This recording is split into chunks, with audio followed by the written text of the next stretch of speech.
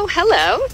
I'm Suzanne. I'm a horticulturist at Rogers Gardens, and I'd like to welcome you to our weekly Facebook and Instagram Live on Friday afternoons. Uh, here at Rogers Gardens, we are experts in gardening, and we like to help you succeed. You're going to feel a lot better about it. Today's uh, topic is plumerias. Uh, plumerias are one of those plants that so many people love, and every week I feel like I get so many questions about plumerias, and they're really just pretty easy. I guess if you live in Southern California, they're very, very easy. They're a plant that almost thrives on neglect, but if you give them a little bit of care, they're going to reward you with these big, beautiful flowers. Um, a little bit about plumerias. They are originally from Mexico, coastal uh, Central America, Brazil, and the Caribbean. A lot of people think that they're from Hawaii or Polynesia or something, but actually, um, they've naturalized there, but they're from uh, Mexico and Central America. Uh, there are two kinds of um, plumerias that we see here. We see the rubra and the obtusa. Uh, obtusa is an evergreen. Um, sometimes you'll you'll know them from their super round leaves, but right here we have only the rubra, which have the more pointed leaves. Uh, the rubra also are the ones that go dormant. So um, just keep that in mind around November, December when they start losing their leaves. There's nothing wrong with them. They're just going dormant. Um, plumerias, they really, really enjoy well draining soil. That's why they do well in Hawaii because they have that volcanic soil that just, you know, stays away from the roots of the plant. When you get uh, plumeria, you want to just put it in some beautiful, well draining soil. Potting soil is good. You'll see the soil here has a lot of pumice in it. That's going to help with drainage, but you can also buy a bag of this beautiful cactus mix you're going to put it in the ground, you can just mix the cactus mix with your natural soil, or if you're going to put it in a pot, mix it with your potting soil. When you're um, when you're ready to water your plumeria, this is a big question with people. Plumerias don't need a lot of water, they just like regular water. They like it going past their roots and they like to just um, kind of touch the water a bit. They like the soil to almost dry out between waterings, but not completely. And um, they do not like being overwatered. That could mean that they'll rot and um, it's going to start right here and you'll see it kind of shrivel up and you'll know it's been overwatered there's not a lot you can do it's basically that you've attacked their vascular system um, and you can maybe start again and speaking of starting again if you have a friend who has a have one, you can ask them really nicely, can I have a cutting? And um, how it's going to grow to a certain extent. But a cutting from a tree can be as small as this, even smaller. You're going to let it dry out for a couple of days. Let the end just dry off, and then you can pretty much just stick it in soil. Some people will use like a rooting hormone or something, but I've grown enough plumerias you can just stick them in soil. Make sure that they're kind of evenly moist and they will grow for such a long time. They get very big and um, that's I feel like I have a question over there. What is my question? We have one question here on Instagram from MX Torres is asking transplanting from a seven gallon to a 15 gallon and uh, potential shock gosh, um, if you're doing it right now, maybe. It's not the best time. Usually, kind of late, late, late fall or early, early spring. You know, as it's going dormant or as before it's actually come out of dormancy is the best time to transplant it. Um, they're not going to be too shocky. Just keep that soil um, water level the same, and it might not be too bad. But if it hasn't bloomed yet, it might. You know, the roots are going to be uh, disturbed, and they might be a little bit unhappy for a while. But I doubt that you'll kill it. It's pretty hard. They're like a succulent, really um, resilient. Great. We have another question on Facebook by Martha Treadway. My plants get leaves but no flowers. How do I encourage them to bloom? Ah, okay. That was uh, my next point. Actually, is fertilizing. So, um, plumerias will bloom on their own, and they're really happy to do it. Um, the thing that you want to do is not baby them. They love sun. They love heat. Do not think that you can give them too much sun. That's what they need. A lot of times people will keep them in shadier areas, kind of like we have them here right now, but that's just for this live thing.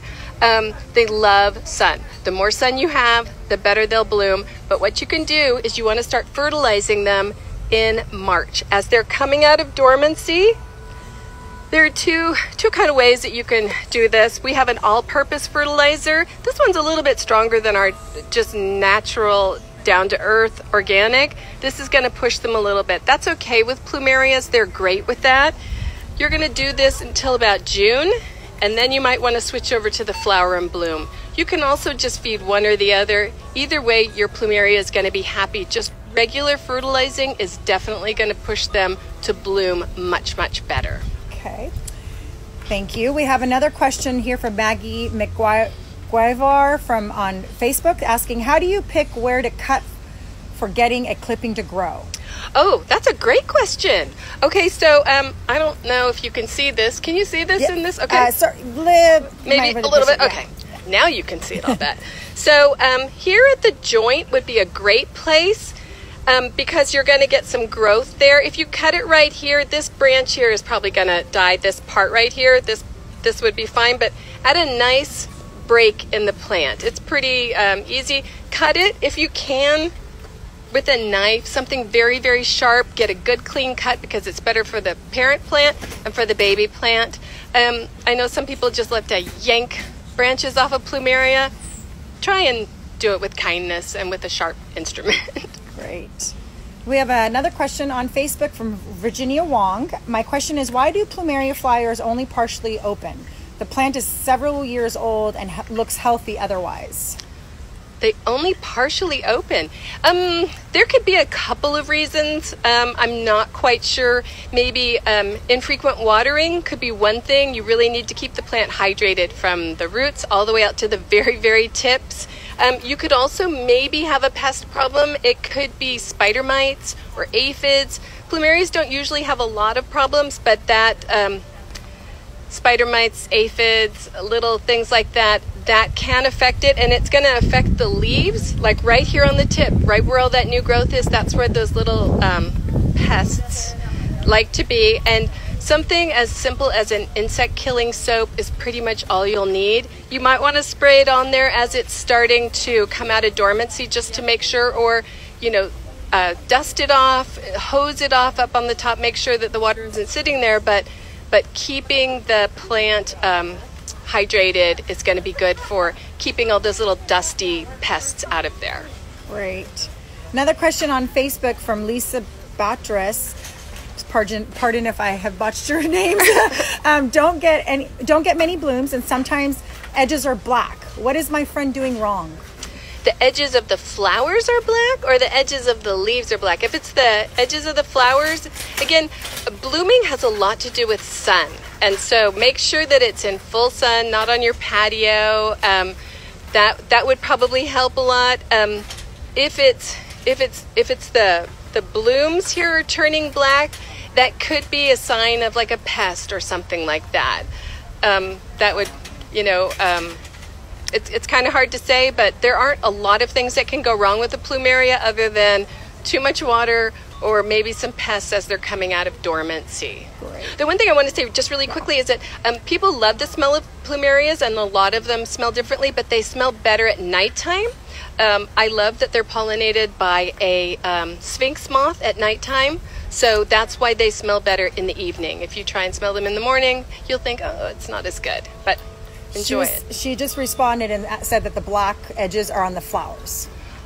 Does that black have edges any on the significance?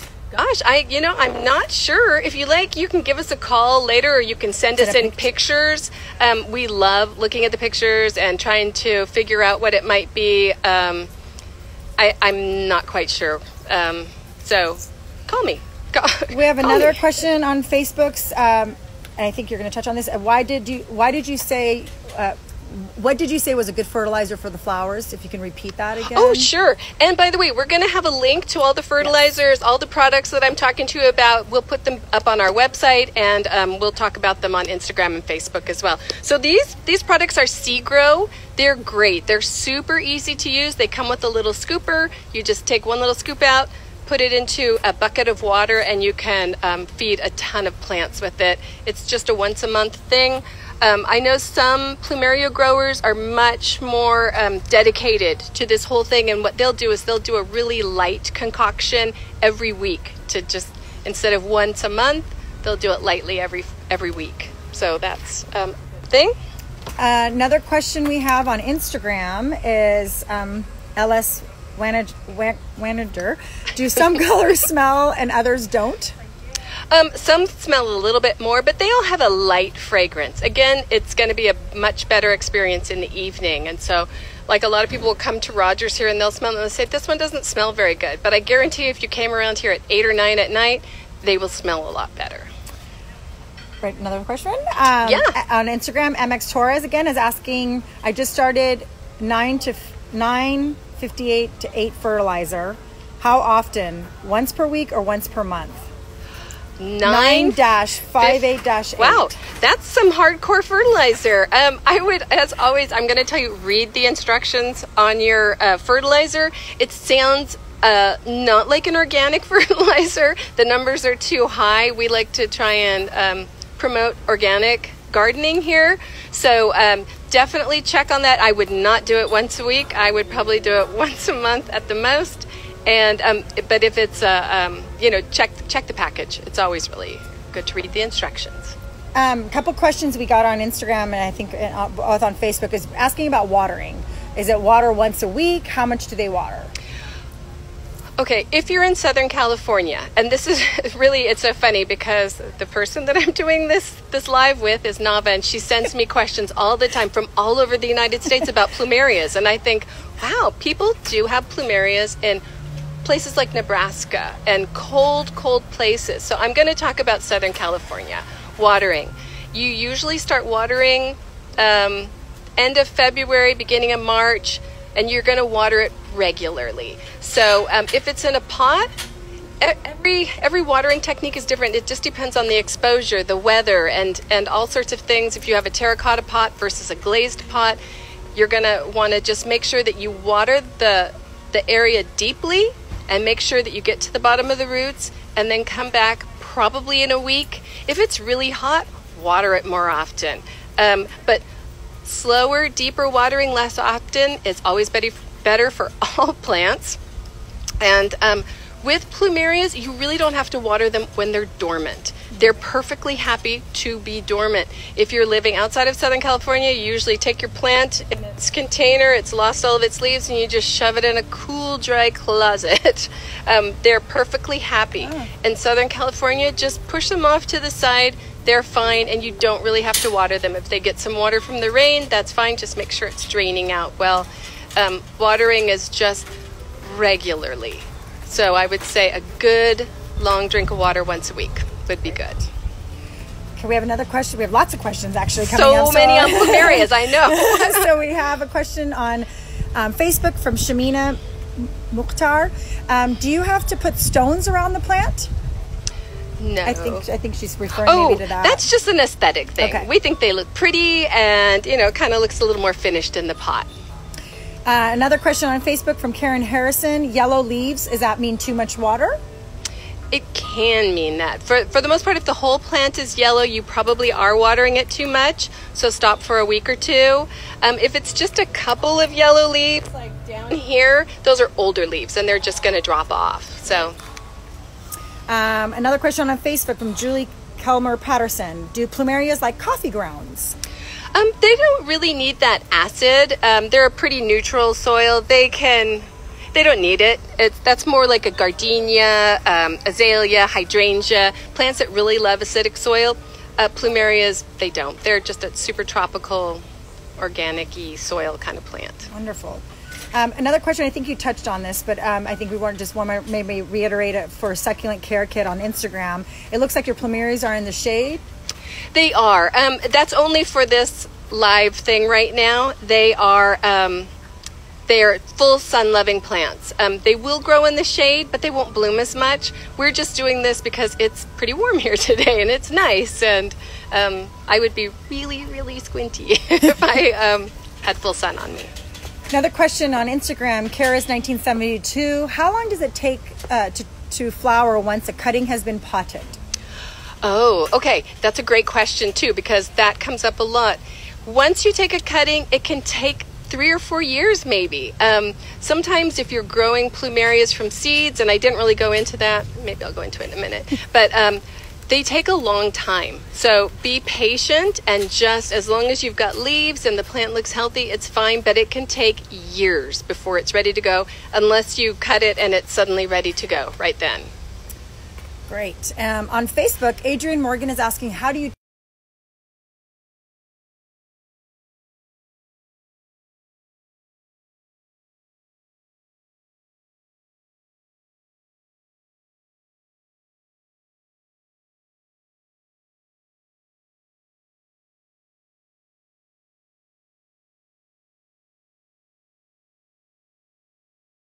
weird so just remember to wear gloves and um, let the the cuts dry out before um, you know you go messing around with anything Great. Um, on Instagram, Steffi Weffy is asking, is Miracle-Gro good for plumerias? Oh gosh, from an organic standpoint, no. um, or, uh, Miracle-Gro is a synthetic fertilizer and it has a tendency to push plants a little bit harder than they want. That being said, Miracle-Gro is for blooming plants. Um, I would stick with organics. It's a lot easier, it's a lot safer. You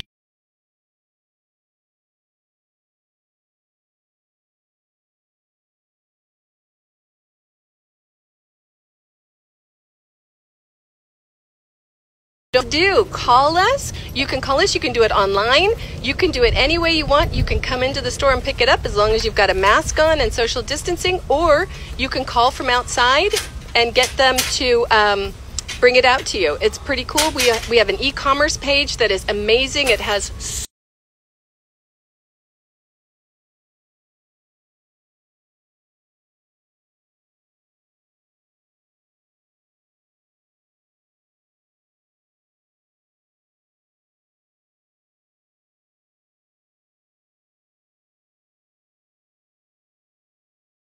it's droopy. Straight. What do you think? If it's droopy, it's too much water. It's definitely too much water. Um, it could be rotting. That could be a big red flag. I had a plumeria do that once. I live from experience. Um, it was Maybe hold on one second we have a heli- helicopter. we have a helicopter coming over us. They're just, but um, yeah, uh, drooping is probably, and it uh, it may just be have something to do with rot within the actual plant um, somewhere somehow. So I would take it out of the soil if it's not too big and um, see what's going on with it.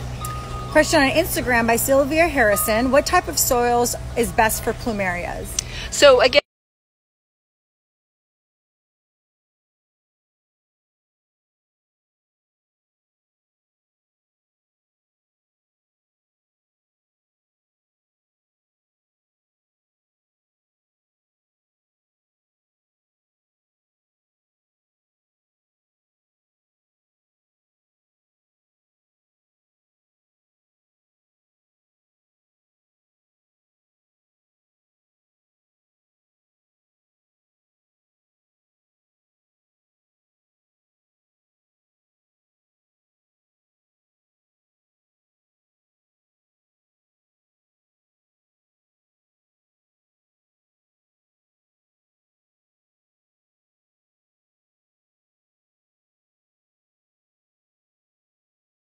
Roof. I'm sorry. Use roof concentrate. Any secrets? I've tried several times to plant cuttings neighbors give away, but they don't bloom or grow. So, um, cuttings, they are, they thrive on neglect. I swear, I promise you. Plumerias thrive.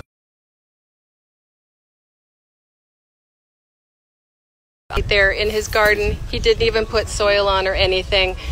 Um, they will just grow. So, cut it, let it wait a couple days to heal that cut with that milky sap, and then just plant it once it's dry.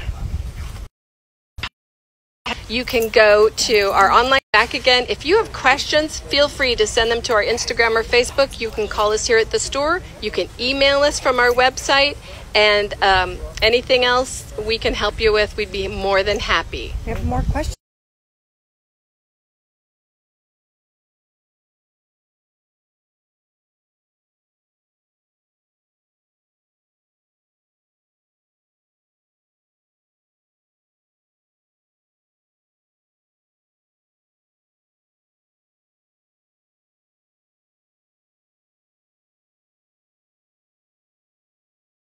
Sprinklers can do it. Um, you don't really want a lot of water hitting the leaves or the plant, but that's uh, pretty much a rule for all plants. Um, I love that we're getting an audience here. Oh, we, we have a lot you, of people you people can't see this, but there's a lot of people standing around here now. Um, another question from Denise Wire Photography on Instagram. Do they need full sun when dormant in SoCal? Full sun when dormant. They don't need it, but they will go dormant. So it's not a problem. You can leave them right where they are. Um, just know that, that they will go dormant. MX Torres is asking, are some colors more temperamental than others?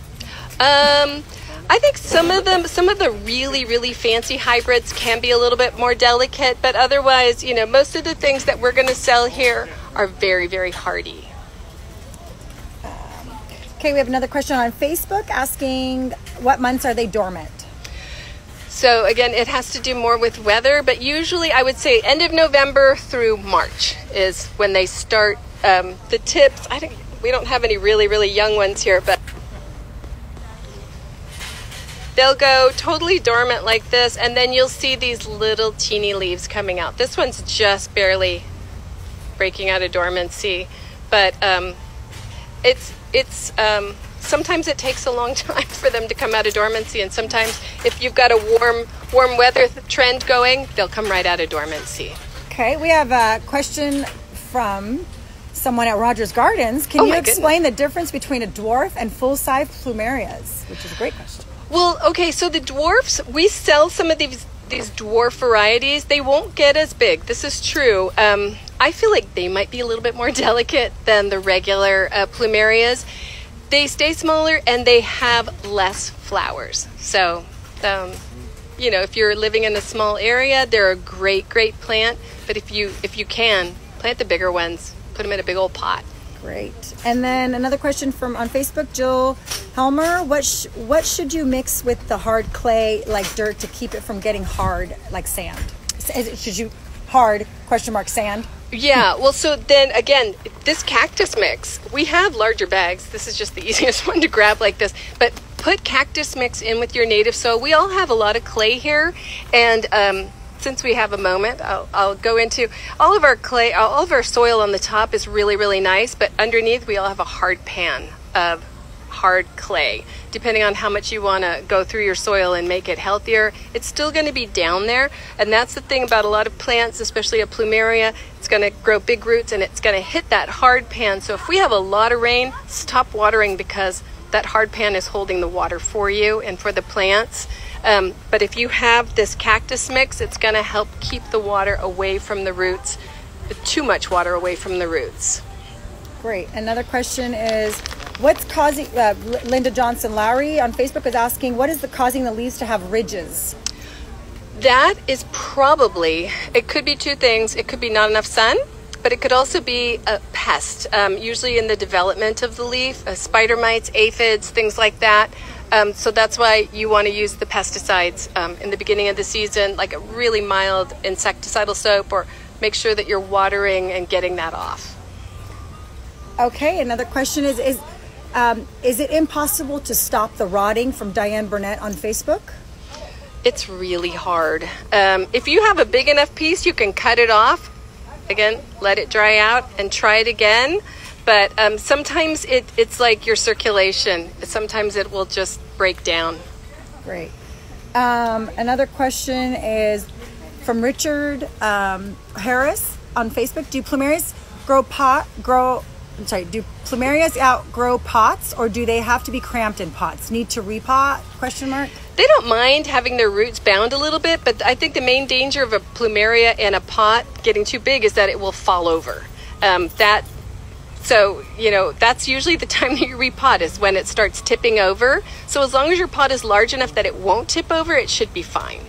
And then we have a question on Instagram. Adding stones to soil would that help the water flow? No. Um, adding stones to a pot is always a bad idea. Um, small pumice and things like that is good. A lot of people put um, stones at the bottom of their pots, and so I'm just going to go on my traditional rant of just don't put stones back there because the soil will eventually go through those stones and just kind of clog instead of uh, help your drainage. Great. Another question in Arizona: the best plant in a pot to, or ground? Is it best to plant in pot or ground? Oh, I mean, if you can put it in the ground, sure. Then it'll just get bigger and bigger, and you'll be able to enjoy it so much you'll have more blooms. Um, but pots are great too. I mean, they, they do well in either. Succulent Care Kit is asking, so would you add extra pumice, pumice, Pumice. pumice, pumice in the cactus soil? Um, if you're putting it in the ground and you feel your soil is super super clay, you can add more pumice, but um, the the cactus mix has tons of pumice in it, so it's just an additional cost. Um, Nancy Hayden's asking, do you ever water the evergreens all year? You could. I- mean, it depends on where you live. Depends on you know what's go. If if you're in a cool weather area, I would say cut back a little bit. But if you're here in Southern California, you could. Um, you don't see them a lot here, but sure. Great. Another question, just Denise Stanley. Um, my plumerias are plants that have to produce. Gosh, I don't know. Um, I see plumeria. Um, I mean, all plants have a lifespan, but I don't know how long plumerias are, to be honest. Great. I would say a long time. I'm going to just do two more questions Okay. for you. Um, how, from Jill Grammer Helmer on Facebook. How can I get the plumeria to be more full with more branches? Oh, that was a question we had recently Yeah. by email. Um, fertilize regularly. You can't really make a plant grow too fast, too quickly without, you know, kind of, you have to sacrifice one thing or the other. Either you get growth or you get bloom. So um, just um, be patient. It will grow. If you're fertilizing regularly, it's going to grow better than if you're not, but you don't need uh, to really be super intense with plumeries. There, I, I want to just keep emphasizing plumeries are so easy. They are so easy. You don't need to overthink it. You don't need to overwater them. They're just happy as a clam to just be around. And uh, one last question from Nelson Dearborn. Can you graft different color cuttings on a single stalk? If so, how? Oh gosh. I do not. Uh, that's very complicated. I don't know, but people do. Then I'm going to ask one more question then. Plumeria Society. to that one. The If- Plumeria Society will help you with that one. MX Torres, if the pots have two cuttings that have now rooted, would it do damage if we split the two into separate pots? so they were two two plumeria plants were growing. No, no, it's just like a succulent. Their their roots aren't that delicate or anything. So Great. yeah. So um, okay, um, I'm not sure what you're saying, but so uh, just go visit our Instagram, our Facebook, our the blog for plumerias, and they can get more information. Oh, we do have a blog for plumerias. I did not know that, but now I do. Um, and so do you. So just uh, go to our website. We have all of the information there. We have our e commerce, we have uh, links to our Instagram, Facebook, and then don't forget tomorrow morning at 9 a.m. Haley's going to be here with her new and trendy indoor plants. That would be super fun to watch. I want to thank you all for coming.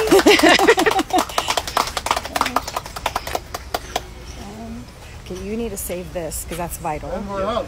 And, uh,